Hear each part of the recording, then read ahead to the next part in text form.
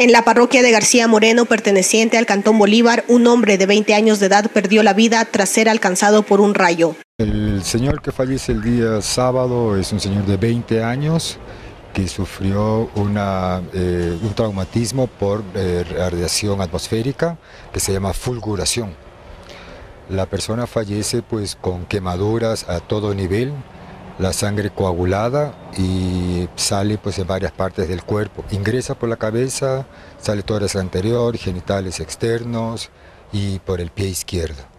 La muerte fue instantánea. Según versiones de familiares, el hoyo oxiso habría estado cubriéndose de la lluvia bajo un árbol cuando recibió la descarga eléctrica que le mató de contado. El señor, según comentan, escampaba de la lluvia debajo de un árbol con la moto y ahí es donde le cae el rayo y le pues acaba con la vida.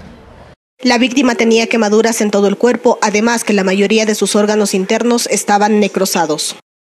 Con cámaras de Johnny Galvis, Mayra Coral, El Informativo.